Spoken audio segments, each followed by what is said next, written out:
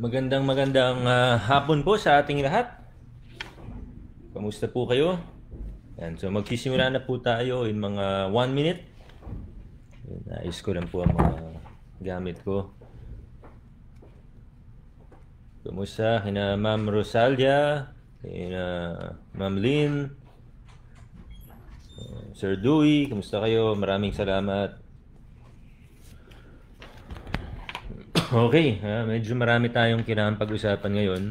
Subukan natin gawin na simple lang at ah, hindi masyadong komplikado.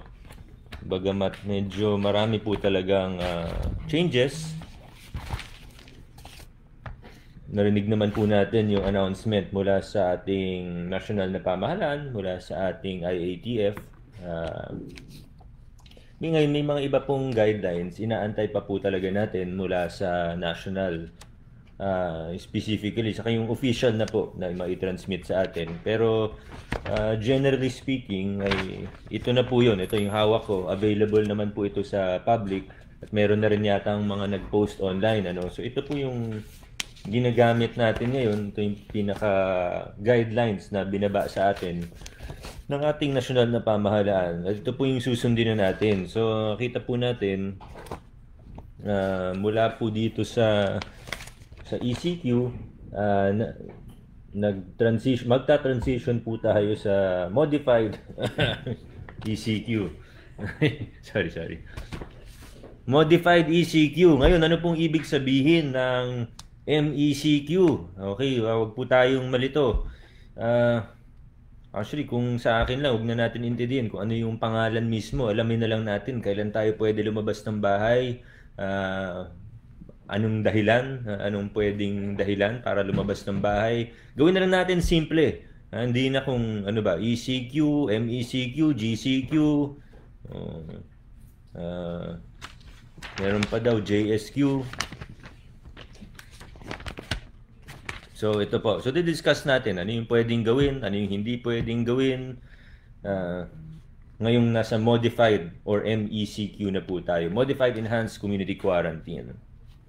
So, it, dito po, uh, insofar as kung sino pwede lumabas ng bahay, halos ganun pa rin po. Ano? So, i-discuss ko na lang din po, pati yung permit to leave premises natin, ah, yung ah, barangay coding natin, anong mangyayari dito, in light of the new pronouncements of our national government, ah, yung transition natin to uh, MECQ. Yung mga sa medical side, yung mga yung medical na aspeto, yung healthcare system or healthcare interventions natin, hindi ko na po ah, masyado i-discuss ngayong ngayong hapon ano dahil ah, may mga mas pressing concern tayo. Um, lagi ko naman nababanggit at minsan nababalita po yung mga ginagawa natin na healthcare intervention. In place po yun, yun pa rin po yun. Ah, hindi ko na po i-discuss sa araw na ito. Yung ginagawa natin sa COVID Referral Center, excuse me po, Ah, yung COVID Referral Center, yung ah, yung quarantine facility na centralized, centralized quarantine facility, uh, reassure ko lang po kayo na safe yung mga pasilidad natin. Pati po yung ginagawa natin ngayon sa Rizal High. Nakita nyo naman po yung sa Children's Hospital na kinonvert natin to COVID Referral Center. Nakita nyo naman po safe. Yung mga nasa paligid, na, yung mga nasa ah, kalapit na lugar, ay ah, wala naman pong naging problema dahil hindi nga po tumatagos ng pader itong virus. Sa close contacts natin ito makukuha. So kahit nasa katabing bahay niyo po yung virus, basta hindi kayo lumalabas ng bahay ninyo, hindi wala kayong close contact dun sa carrier ng virus, safe na safe po tayo. Huwag po tayo mag-alala. Ang importante, as much as possible, we stay at home. So yung mga malapit nakatira sa Rizal High School, huwag mag-alala. Gaya lang din po 'yan ng mga malapit nakatira sa nakatira malapit sa sa um, PCCH o Child's Hope na ginawa natin COVID Referral Center. So uh, I hope ma-reassure po yung mga residente ng lugar na 'yon. Nakikipag-ugnayan din naman po tayo sa barangay uh, uh, na Kanyugan na pati po yung sa Kapasigan. Okay, so uh, bago pa tayo nagsimula, aware na sila doon. So ano ba ang itong modified ECQ? Ah, siguro sa pinakamadaling explanation dito, yung uh, maapektuhan po tayo, lalo na po yung mga nagtatrabaho uh, yung may mga trabaho, uh, yung mga allowed na establishments na magbukas, medyo dadami ho ng konti. Uh, pinapayagan na po yung mga tawag dito, yung mga manufacturing, ito po, buksan ko para eksakto na po, hindi na, yung mga government workers, ganun pa rin po, skeletal pa rin po tayo. Uh, yung mga LGU workers natin, yung mga kawani ng pamahalaan ng Pasig, malapit na pong ma-release yung inyong mid-year bonus, yung tinatawag nating 14th month, uh, pati yung mga rice allowance natin, malapit na po. Uh, okay. Ngayon, ECQ to modified ECQ, stay at home pa rin po. Yan pa rin po yung pinaka guideline natin, yung pinaka rule natin, stay at home pa rin po tayo. Pero again, dinadamihan na po yung pinapayagan ng ating nasyonal na pamahalaan uh, na na maaring bumalik sa trabaho. So, so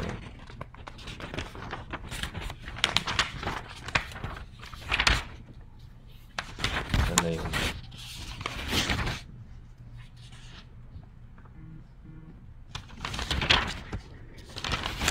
Mm-hmm. Ayan. So yung mga, pati po yung mga malls, uh, pwede nang magbukas ulit under uh, modified ECQ. Pero hanggang 50% lang ng original work uh, capacity. Yung uh, employees niya, nasa kalahati lang po ang pwedeng pumasok sa ngayon. Uh, ayan, so yung mga other financial services, legal, yung mga law firms, accounting firms, uh, consultancy firms, pwede na magbukas. Pero as much as possible, kung kaya po at uh, kung maaari, work from home. Yun ang option natin. So, mga law firm, halimbawa, kung pwede po, yung mga abogado ninyo, yung mga paralegal ninyo, manatili po sila sa bahay, work from home. Yung mga kailangan lang pumasok, yun lang po dapat ang pumasok. Maximum of uh, 50% ang on-site on-site na pinapayagan ng ating IATF. Uh, research and development, uh, advertising, market research, uh, computer programming, publishing and printing activities. Again, lahat to 50% uh, ang workforce na pwedeng pumasok. Uh, ano pa ba? Uh, basahin ko na lang po ha. Other activities, photography, fashion, industrial, graphic interior design, wholesale and retail trade of motor vehicles. Mm, yan. Ito, ito yung medyo big deal po siguro. Ito, pati yung mga mamimili, sigurado magiging interested dito. Malls, commercial centers, kung tutuusin, hindi naman ganun karami ang mall sa Pasig. Ano? Kasi karamihan ng mall na malapit sa atin, either nasa Mandaluyong o nasa Quezon City. Pero meron din pong iilan mall sa atin, uh, ah, 50% din. Tapos yung mga movie house, hindi pa pwede. Yung mga leisure entertainment areas, hindi pa po pwede mag-open yon. Pero yung mga tindahan, uh, yung mga uh, bilihan ng equipment, damit, pwede na po mag-open, muli po 50% lang ng workforce nila ang allowed o pinapayagan na pumasok, 50%. So hihingi tayo ng tulong sa mga mall, uh, sa SM, sa Ayala, lahat po ng mga mall, hihingi po, po tayo ng tulong sa kanila para ma-monitor po natin na 50% lang muna ang uh, pinapayagan pumasok. Ganon din po yung sa bookstores, hardware, uh, clothing, accessories, baby care, supply stores, pet food and pet care supplies, IT, electronic equipment, flowers, jewelry, novelty shops, antique shops, perfume shops, pati toy store nandito. Bawal lang yung kung may playground o may amusement area, bawal po yun. Pero kung yung toy store lang mismo, pwede. Ang hindi po pinapayagan, ang bawal pa rin po, kung may makita kayong nagbubukas at uh, nag-ooperate sa mga babanggitin kong susunod, uh, paki-report po sa amin o sa pulis kaagad. Yung mga sports facilities, gyms, bawal pa rin po. Kasi ano yun eh, uh, mabilis mag uh, makontaminate. Uh, alam mo, yung gym, o gagamitin mo yung equipment, yung susunod na tao, gagamitin din. Eh, kung positive yung nauna, talagang mabilis ang hawaan doon. Entertainment katulad ng, katulad ng cinemas, theaters, karaoke bars, bawal pa rin po. Uh, doon na lang po muna tayo sa bahay magkantahan. Kid amusement industries, yung mga playrooms, yung may mga rides rides, bawal. Uh, libraries, bawal pa rin po. Mga museums, mga tourist destination, katulad ng beach, wala naman po tayong beach dito, no? pero yung mga swimming pools, bawal pa rin ho. Travel agencies, yun na medyo ano to ha, hindi, hindi masyadong exciting pero kailangan ko lang pong isa-isahin. Uh, personal care, mga massage parlors, sauna, uh, waxing, ano ba tawag doon? Salon? Waxing, ano ba siya? Ano ba tawag doon? Ba, ikaw yung madalas pumupunta sa mga ganun eh. Uh, waxing facility? uh, waxing salon. Yun. Mga ganun, yung mga pinupuntahan lagi nung staff namin na si Cha, bawal pa rin po. Okay? Kahit mag-GCQ, bawal pa rin po yun. So yun po, ano, basically, ito yung pinakamalaking pagkakaiba. Ngayon, ang pinaka-problema natin, ang pinaka-challenge, yung sa transportasyon. Dahil hindi pa rin po pwede yung public transport Uh, hindi pa siya pinapayagan sa ngayon. Uh, so jeeps, mga uh, buses for hire, hindi pa rin po pwede under under uh, these guidelines from the national uh, government or from the IATF. Uh, hindi pa rin po pwede. Okay? So ang challenge, dadami yung uh, pinapayagan natin pumasok, pero yung public transportation limitado pa rin na tama din naman po itong desisyon na ito kasi kung nasa confined space ka katulad ng isang jeep o katulad ng isang bus, uh, ah, MRT, uh, ah, LRT, uh, ah, medyo mataas po yung risk ano. Uh, so ito ngayon yung tricycle ho uh, hindi pa tayo 100% sure. So magpapaalam pa tayo dahil meron nakasulat po dito na may pwede magbigay ng exceptions ng ang uh, LGU with DILG permission. So titingnan po natin, uh, makikipag-ugnayan tayo sa DILG, we will make the, the appropriate announcement uh, pag pwede na. Friday po ang simula nito. Uh, hindi, hindi ko yata nabanggit. No? Friday po ang simula, May 15. Uh, yung mga changes na ito. So, alamin niyo na lang po, kung ikaw po ay isang empleyado, isang nagtatrabaho sa Pasig man o sa labas ng Pasig, alamin niyo na lang po sa employer ninyo kung papapasukin na po kayo. Uh, ngayon po, ang importanteng malaman natin ay o ano ba yung pinapayagan, tapos yung barangay coding sa mga establishmento, i-enforce pa rin po natin. May konting changes lang po. Sa, sa, sa market, pareho pa rin. Ano, yun pa rin. Kasi nakita natin na bawasan ng 70% ang bilang ng tao sa ating palengke o yung Pasig Mega Market. Um, alam po natin, sentro ng lokal na ekonomiya ang palengke. Lalo na yung mega market natin. Kaya medyo mataas talaga yung risk dahil from all 30 barangays at mula pa sa ibang LGU, on a normal day, talagang pinupuntahan nila. Uh, nagdadagsaan po talaga ang tao sa ating palengke. Uh, isa po ito sa pinakamalaking palengke sa buong bansa. Kaya ito po, talagang pinupuntahan ng mga tao at kung hahayaan lang natin ay baka maging uh, uh, venue po ito ng hawaan. Tapos magkakahawaan sila doon, babalik sila sa kanya-kanyang mga kani-kanilang mga tahanan at barangay or LGU. Eh, delikado po yan. Baka maging super spreader, hindi po yung isang tao, kundi yung market po. So, i-continue po natin yung barangay coding sa sa Pasig Mega Market. Nakita po natin, epektibo siya no, Monday to Saturday. Um, uh, more than 60% ang nabawas eh, ng tao sa, sa palengke. Binibilang po namin yung tao at uh, minimonitor natin. Lalo na yung peak hours na 6 to 10 a.m. hanggang 11 a.m. Yun po talaga yung peak hours. Eh, inihikayat ko po kayo, yung mga pumupunta po ng palengke natin, yung mga mamimili po. Uh, subukan niyo pong 11 a.m. onwards pumunta sa palengke. Mas konti po talaga yung tao. Uh, may mga mabibili pa rin naman kayong sariwa sa ating uh, palengke. Uh, sa kahit sa hapon, meron pa rin po. So kung pwede naman, uh, try nyo po sa hapon kayo punta. Bukas pa rin naman, ganun pa rin, makakabili pa rin naman po kayo. Pero mas mababa yung risk para sa inyo. Uh, dahil mas konti po talaga yung tao. Uh, so again, pagpapatuloy po natin yung barangay coding, uh, may dun, lalo na dun sa mga lugar kung saan gumana siya, yung minomonitor naman natin dito, yung malalaking establishmento eh. Yung mga supermarket, grocery, na sobrang haba ng pila at araw-araw pumupunta yung ibang tao.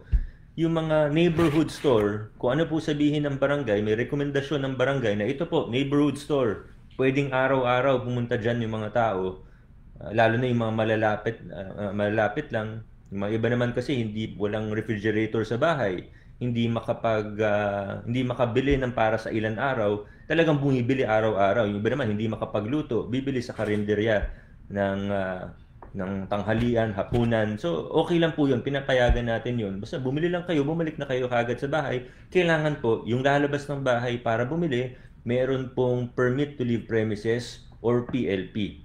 Uh, ah, mahigit 99%, actually, yung report sa atin ng PNP, almost 100% ay nabigyan na po ng PLP, ng families. Uh, kung wala pa po talaga, tumawag na lang po kayo sa hotline natin, sabihan niyo po yung police. Uh, yan, so, pero kailangan po, paglalabas kayo ng mga tahanan ninyo, dala niyo po yung PLP, Huwag na po tayong maglukahan. May mga iba po, may huli namin. Pag nahuli kayo, kayo rin po yung kawawa. Uh, so sana wag na po tayo gumawa ng wag na natin i-photocopy, uh, wag na tayong gumawa ng kopya ng uh, ah, PLP, wag na natin i-forge, uh, wag na natin i-falsify. Uh, yung mga nakakaisip pa ng mga ganitong gawain, tigilan niyo na po. Kasi yung mga nahuhuli natin, kawawa po talaga. Ayaw naman natin magpakulong ng tao. Pero kung gumagawa na talaga ng kalokohan, nagpo-falsify na ng public document, kailangan po talaga ipakulong natin yon Anong choice na binibigay nyo sa akin? Anong choice binibigay nyo sa pulis? Wala ho. Uh, so, ayan ho, ano. So, mag-comply po tayo.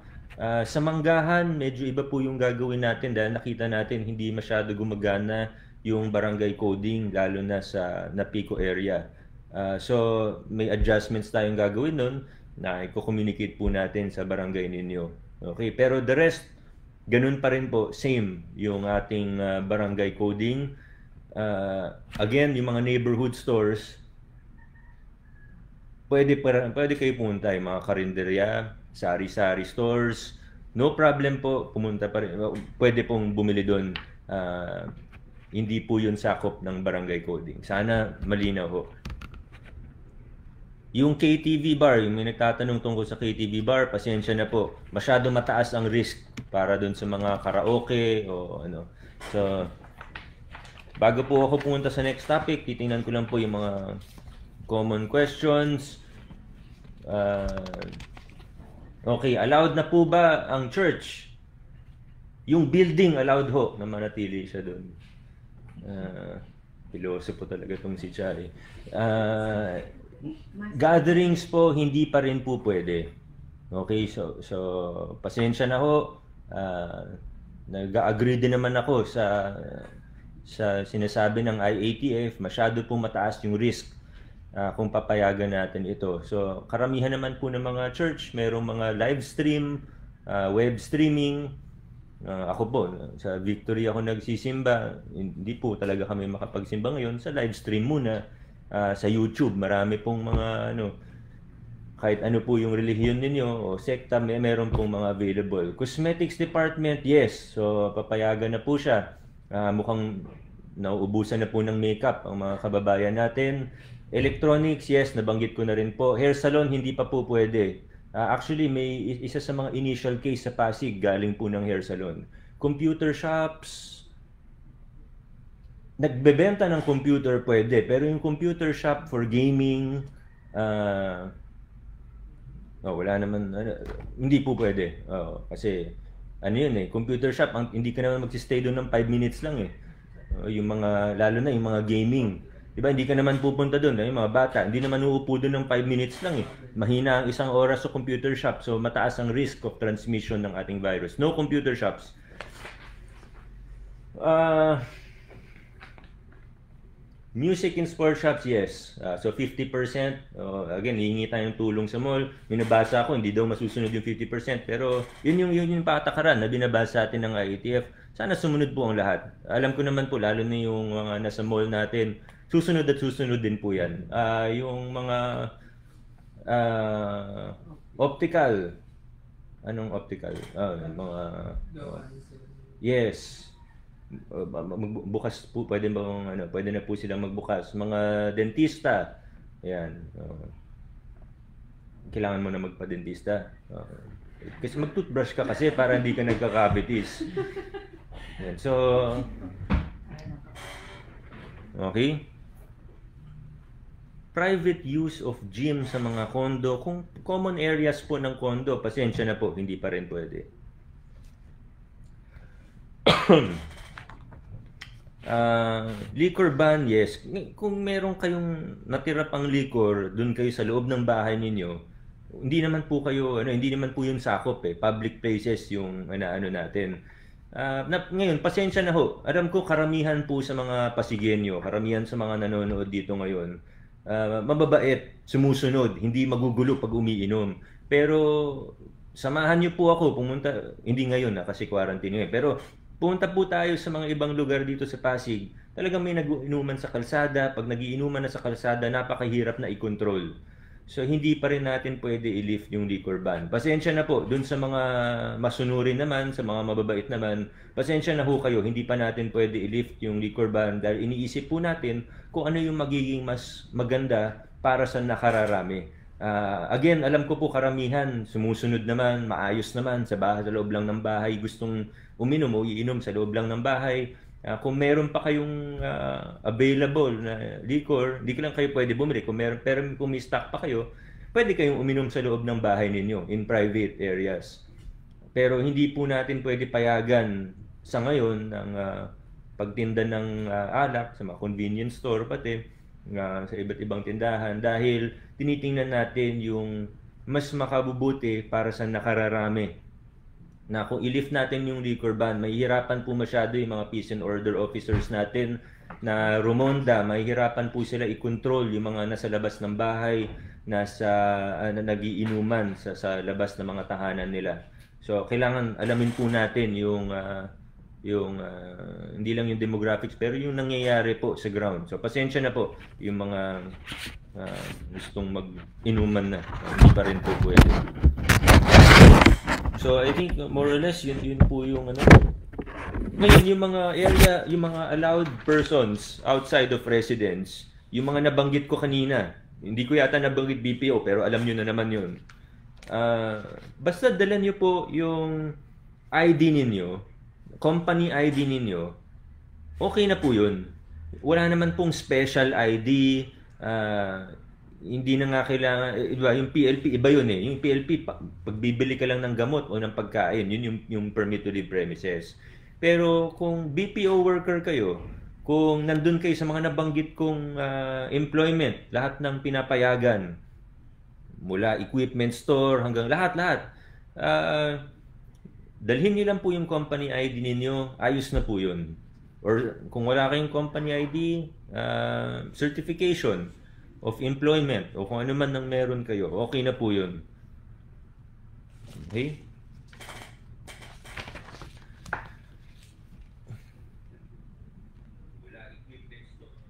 I live in Pasig and work in Cainta. Company ID, hindi hindi po PLP yung para sa trabaho.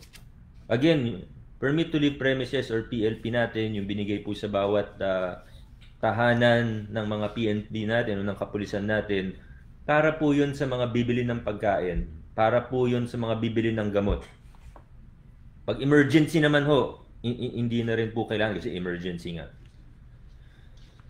Okay.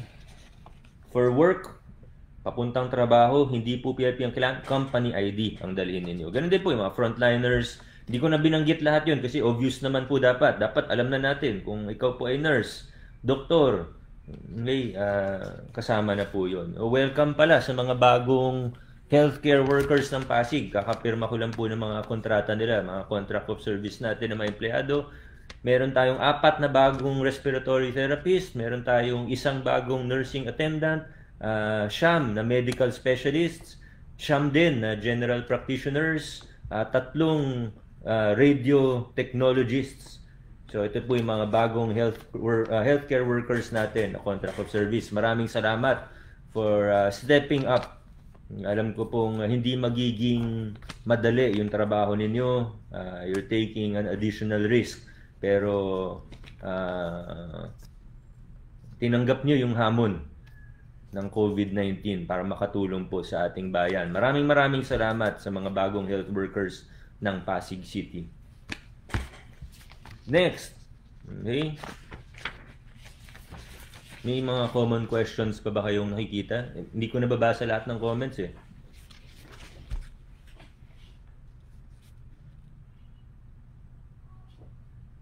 tricycle, jeep, at angkla. Nung angkla? Ay, angkas. Iba yun ah. angkas. Eh, yung angkla. Tricycle, jeep, at angkas. Uh, as of now, hindi pa po siya pinapayagan. Yung tricycle na isang pasahero at special trip, titingnan pa po natin. So I will make the announcement kapag alam ko na at alam na namin kung papayagan po siya ng ating nasyonal na pamahalaan. Pero yung jeep at uh, angkas, hindi pa po pwede. Pati yung mga naka-back ride, pasensya na po, hindi pa tayo pinapayagan sa ngayon. Okay? Uh, huh? Hindi po, yung permit to leave premises, valid po yan hanggang matapos ang quarantine. So, yun po, hindi na po magbibigay ng bago. Ano po yung permit to leave premises, yun na po yun. Okay. Hindi ito permit to leave premise na nahawakan ko. Okay, may mga common ano pa. So sa ECQ, MECQ, na medyo okay na po. Yung mga bagong ano, uh, yung mga bagong dating lang at ngayon pa lang po nanonood, uh, i-rewind nyo na lang po mamaya yung tungkol po sa ating Modified Enhanced Community Quarantine Uh, yung PIO naman natin, mag, uh, yung verified ha, check nyo po muna kung verified yung account bago nyo po sundan kasi uh, marami pong fake ngayon. So, marami tayong mga hindi naman po nawawala na yata yung ka-fake newsan sa ngayon. So ito po ay tingnan natin yung verified account. So kung Vico Soto, tingnan nyo may blue check ba yan? Yung PIO account natin, tingnan nyo po kung may blue check yan. Yung mga page naman po ng yung page po ng Pasig nasa ano po uh, oh, bawal si Rob nag-private message pa. Uh, bawal po ang angkas sa ngayon. Hindi pa pinapayagan ng IATF. Um, ayan, ano? So, okay. So, I think uh, parang na, na, nasagot na po natin yung mga tanong tungkol sa modified enhanced community quarantine. Uh, alam ko po marami pong nalilito yung nagtatanong tungkol sa public transportation. Paki-rewind na lang po mamaya yung video para hindi na po uh, umulit dun sa mga kanina pang nakikinig.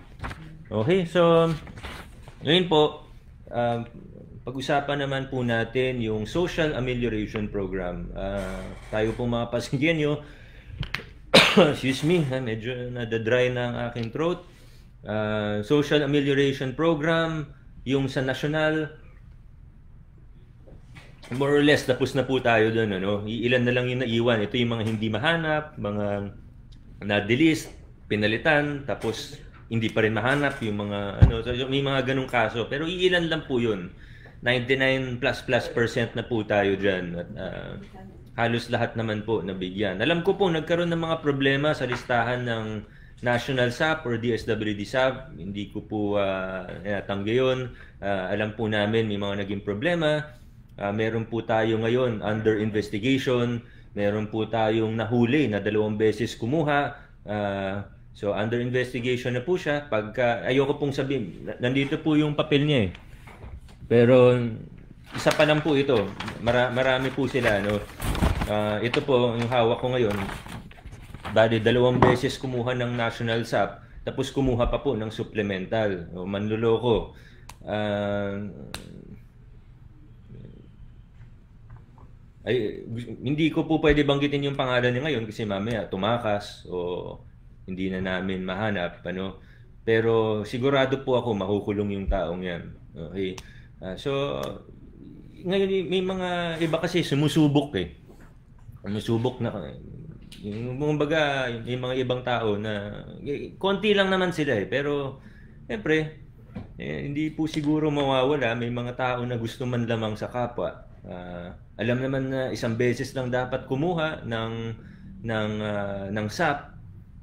Malinaw naman yung rules. Nakasulat naman nakasulat naman sa form yung rules. Naririnig niyo naman sa sa sa balita 24 oras man yan o TV Patrol. Na, nakikita nyo naman po eh, nasa social media, nasa PIO page. Again, nasa nakasulat sa form, bago ka kumuha, pipirma ka, nakasulat dun na isang beses ka lang dapat kumuha. Pero may mga ibang tao, uh, susubok siguro at susubok naman lamang sa kapwa.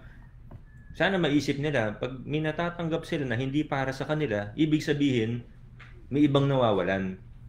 So, ito po, uh, nananawagan ako dun sa mga manduloko, mandurugas, huwag niyo na po gawin, pero kung talagang pipilitin ninyo, mahuhulit, mahuhuli kayo.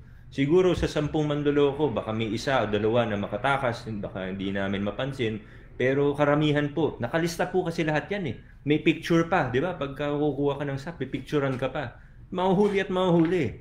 So, maaring akala mo nakatakas ka, nakalusot ka, pero sa totoo, hindi po Mahuhuli at mahuhuli po yan. Pati yung mga nag-splitting, marami na kaming nababalitaan, marami na kaming ebidensya. So, wag na nating gawin. So, National SAP, uh, basically, tapos na tayo doon. So, ngayon po, nag-iikot na yung Pasig Supplemental SAP na teams natin. Ano po ulit yung mga Pasig Supplemental SAP? 8,000 sa bawat pamilya Pasigenyo na na nangangailangan. Uh, gusto po natin tulungan ng lahat ng pamilya na natamaan ng krisis na ito. Alam naman po natin, lahat tayo in one way or another natamaan tayo. Ngayon po, merong mga na mas natamaan, merong mga okay pa naman o financially okay pa naman. Uh, nasa sa inyo na po kung tatanggapin niyo hindi yung ayuda. Uh, pero sana wag na po natin gamitin yung argumento na ah, taxpayer naman ako kaya dapat kunin ko tong ayuda na ito. Hindi po, ito po ay para dun sa mga nangangailangan. Diba? Yung ginamit ko ng uh, halimbawa anong nakaraan, kapag may sunog, uh, syempre yung bumbero natin, may mga uunahin na lugar.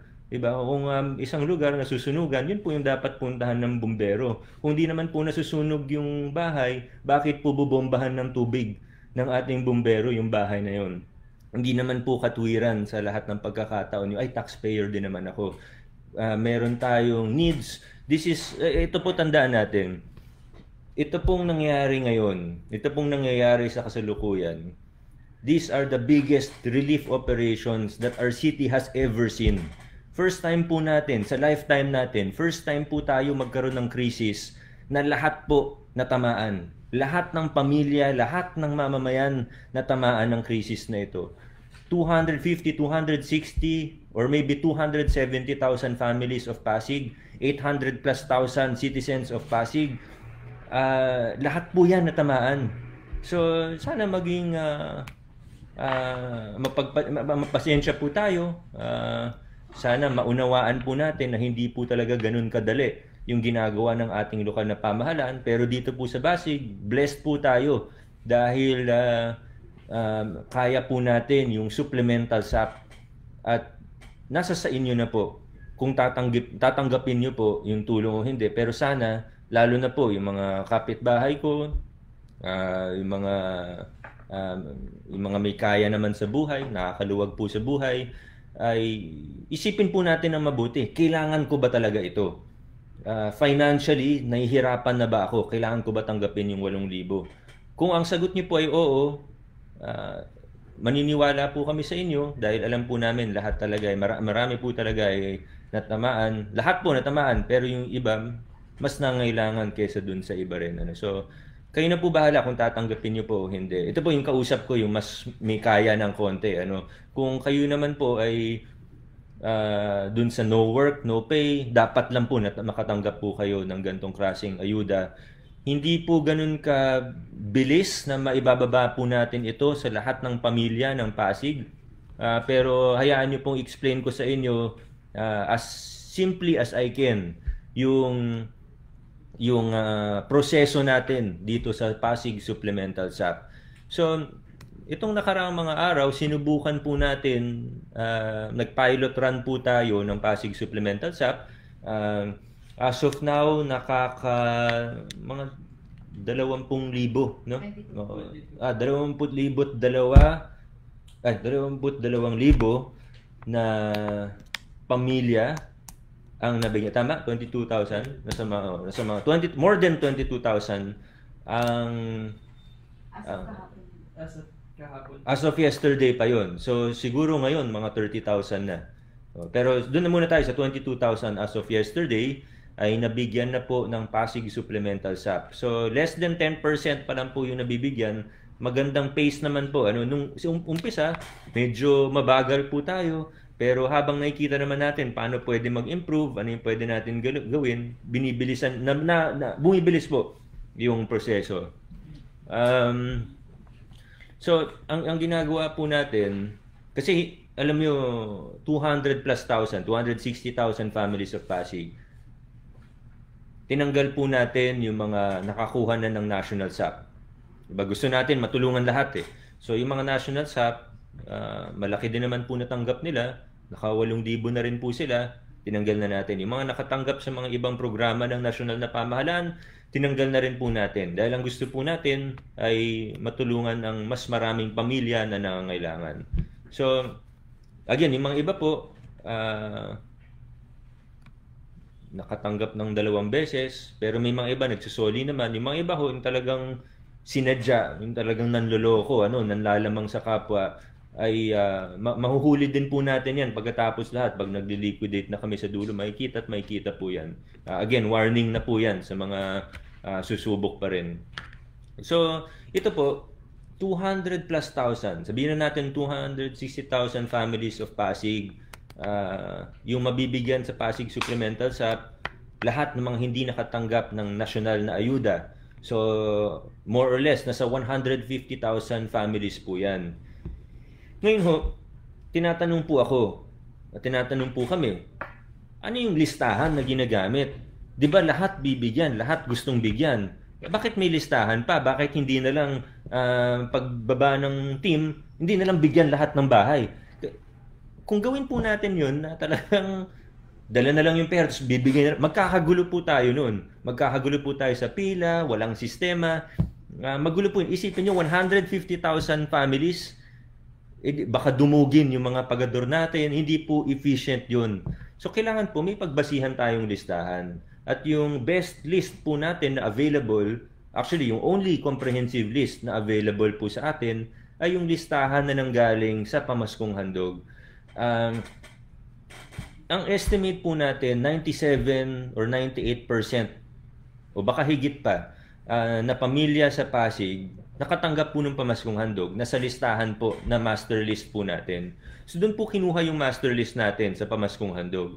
Ngayon, ang tanong, paano po kung nung panahon ng pamaskong handog, hindi po nakakuha? Wala po sa listahan, wala sa ating master list.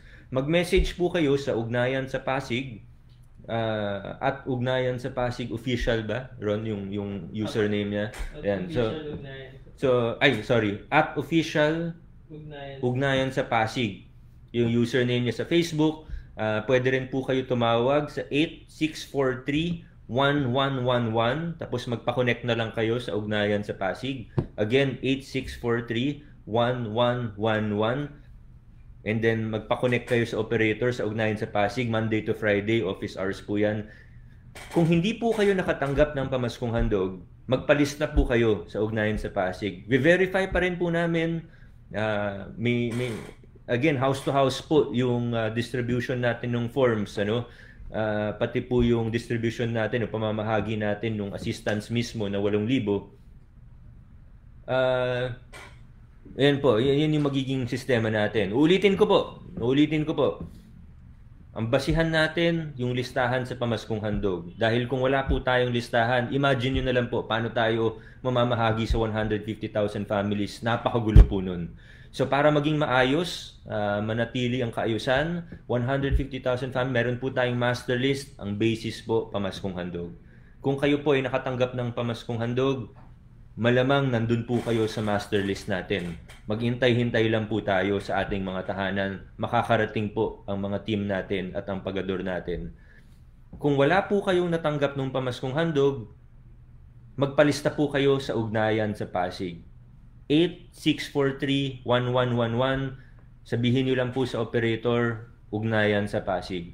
Uh, magpalista po kayo. I-verify po natin. Sa second batch ng uh, distribution ng Pasig Supplemental SAP, isasama po namin kayo. Dahil gusto nga po natin, available po ito na assistance sa lahat ng pamilya Pasigenyo na hindi nakatanggap ng national na ayuda. Uh, katulad po ng national or DSWD SAP. So, hindi, na, uh, mga 20,000 pa lang ang nabibigyan, uh, 150, more than 10% na pala. More than 10% na pala ang nabigyan. Opo, wag na po tayo pumunta sa City Hall. Okay, wala pong mangyayari kung uh, dumugin natin yung City Hall. Well, okay, so i-message niyo na lang po sila sa Facebook, ugnayan sa Pasig or para mas uh, sigurado po tayo, tumawag na lang po tayo dun sa hotline na nabanggit ko na para maging maayos po ano. Uh, again blessed po tayo dito sa Pasig. Uh, sana ma, ma, ano rin po ma-appreciate po natin ang ating lokal na pamahalaan. Kasama po syempre yung Sangguniang Panlungsod natin na nag-approve po ng uh, supplemental SAP na ito. Uh, nahanapan namin ng pondo ginawa namin ng programa nagdisenyo kami ng programa inaprubahan ng Sangguniang Panlungsod. Ini-implement natin ngayon na mamahagi na po tayo ng 8,000 pesos para po dun sa mga hindi pa nakakatanggap ng ayuda. Lahat po, pupuntahan natin. O may nagtatanong, lahat po ba ay kasama? O kayo na po ang sumagot ng tanong na yon. Um, yan. So, ayun ho. Tingin ko ay nasagot na po natin yung tanong. Meron pa po ba mga common questions sa ating... Uh, yan, medyo... Oh, hindi ko naman po sinasabi na paulit-ulit yung mga tanong, pero yun na nga po, medyo common na yung mga tanong. Ano, tingin ko, uh, nasagot naman natin. Kung hindi niyo po narinig yung sagot sa tanong ninyo, siguro re- rewind po kayo ng konti. Work sa construction. Wow. Uh, huh?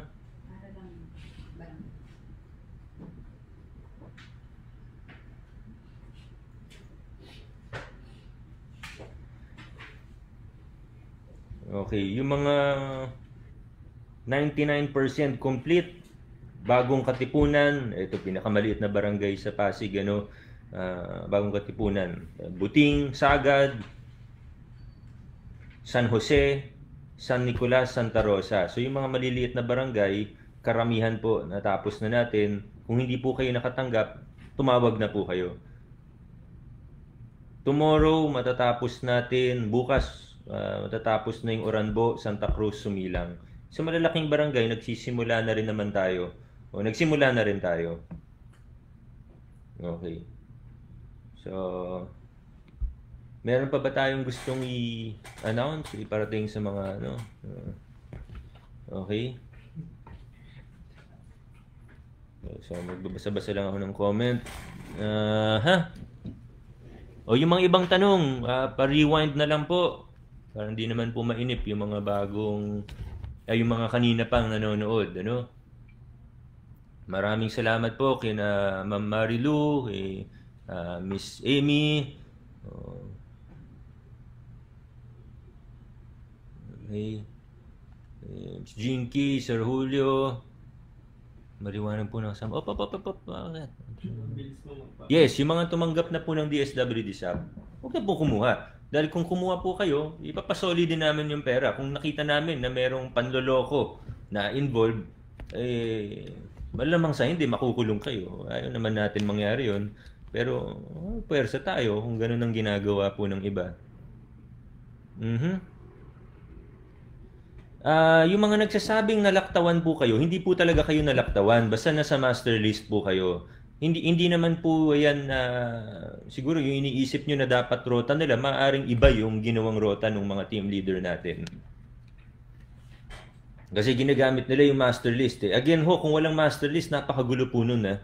Kung wala pong master list, edi dudumugin po yung mga team natin, baka magpapanggap na dito nakatira pero hindi naman, eh, hindi po pwede yun. Talagang ginagamit nila, parang mapa, yung master list natin, yun yung parang ginagamit nilang mapa. Salamat Miss Rona, ingat din po kayo. O yung nagsasabi, eh, kung busy po yung ugnayan nung time na tumawag po kayo, pasensya na ho, baka talagang wala nang linya na available. Pero subukan nyo lang pong tumawag ulit. Basta office hours naman po kayo tumawag. Ah, mga gantong oras po, wala na pong, baka wala na pong sumagot ng phone. Minsan meron pa rin, pero sa office hours na lang po tayo tumawag. Mga 3, 4 p.m. yan, di po masyado marami yung tumatawag. Usually umaga eh. Okay, good evening din po. Salamat kina kina Ma'am Kelly, Sir Eric, kamusta kayo diyan? Alright. Yung tatanong po, res- resume sa work, construction sites, factory. Tanungin na po direct, direct, directly yung employer ninyo. Ano? Pero may instructions naman po ang ating IATF hanggang 50% sa workforce pwede na magtrabaho doon sa mga manufacturing plants, mga factories po natin. So alam natin medyo nahihirapan na rin tayo ano. Marami sa mga kababayan natin nahihirap na rin, di na alam kung saan kukunin ng susunod na ah, pambili ng ng pagkain. So, um, so maganda naman po ito. Siyempre medyo kinakabahan din tayo baka biglang dumami yung close contacts, ah, mag-spike na naman ito. Uh, So, pero gagawin po natin ng lahat. Kasama po yung quarantine facility natin. Sa, sa susunod na pagkakataon ko na lang po ikukwento sa inyo. Yung healthcare interventions natin, more aggressive than ever. Ah, pati po yung sa testing, more aggressive than ever tayo. Kaya maraming salamat sa lahat ng tumutulong, sa mga sumusuporta.